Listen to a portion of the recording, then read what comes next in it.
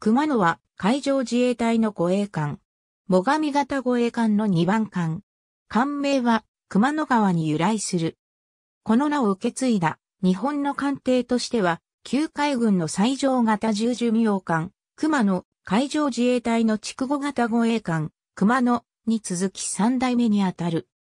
熊野は中期防衛力整備計画に基づく平成30年度計画護衛艦として三菱重工業を通して三井 E&S 造船に発注され、玉野艦船工場で2019年10月30日、寄港、2020年11月19日命名、浸水。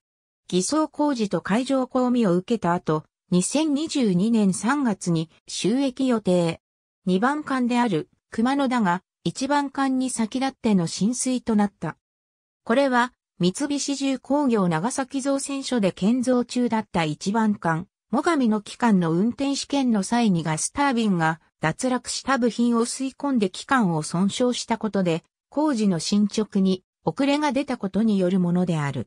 その影響で、命名、浸水時点ではタイプシップ名が公表されなかった。熊野は日本周辺で増大する平時の警戒監視活動のほか、有事には対戦船、対空船、対水上船などにも活用できる。